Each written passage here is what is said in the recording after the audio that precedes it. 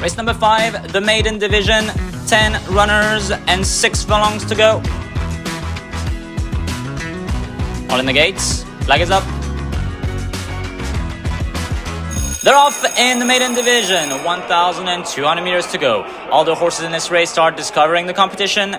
Quickest out of the gate from barrel number two is number one Concorde. On the outside, we see number seven Peephook in front of number six Janshai, ridden by Sengrung. In fourth position comes Jawa Sawin and Vitsanukorn in front of number five Kirin. Next is number three Utah in front of number four Janshao. Back of the field is currently for number nine Luke Fai. Into the final turn now, it is still Concorde in the lead. Peephook and Janshai are taking quite a wide turn, especially Peephook Peephook. It is still Concorde in the lead. Janshai is now taking over the second position against Terrell. Peephook is struggling to turn and to keep up with the two horses in the front. The fourth position is currently for Chow Asawin and Vitsanukorn.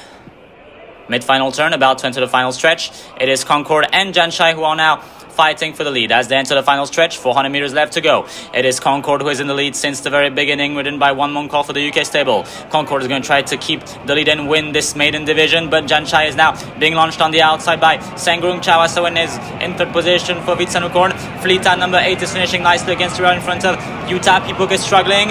It is Concorde who is going to win very easily and fly home. Concorde is going to win for the UK stable, ridden by one Moncall, second place for Janshai in front of Fleeta and a very, very easy win for Concorde, ridden by One Moncol. Very easy win in front of Janshai. Flita takes the third position in front of Chawasa win